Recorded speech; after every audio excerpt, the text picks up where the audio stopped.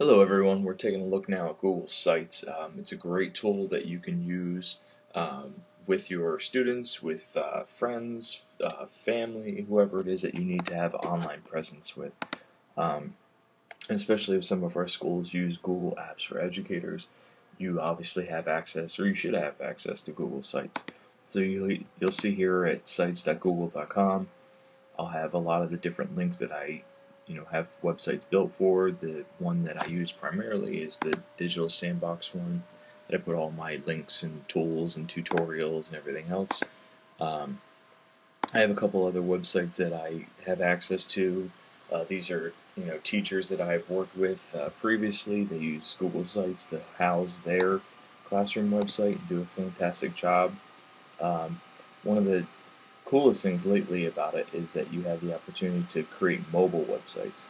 So we'll take a look at that. So it's easy to do. Create a new site. You can use a, a different template.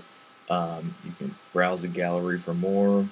Name the site. So this is, will be my like test site. Um, it'll fill in the blanks and create the URL for the website.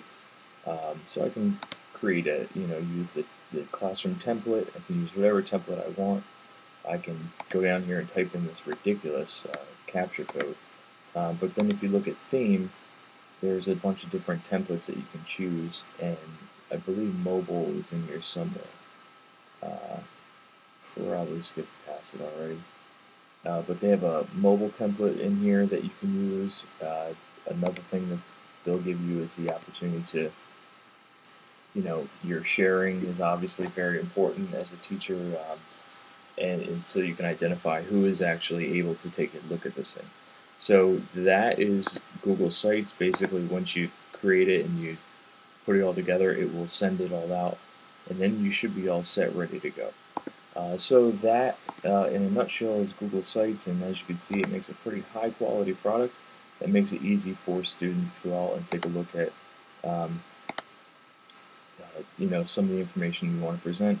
I do have one quick thing that I'll show you, which is the one of the mobile templates that I put together um, for my flipping the talk piece. And so this is a, a mobile template that we used.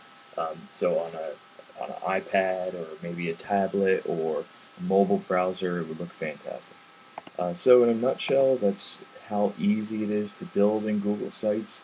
Um, it's pretty simple to build a page and edit a page. Uh, basically, it just takes time to figure out exactly what you want to put and how you want to put it. Uh, like I said, it's easy if you hit edit page. It'll basically just load up like a, a editor in Word. So you have all your temp, all your fonts and your sizes and your bold, and then here is the Word doc down below.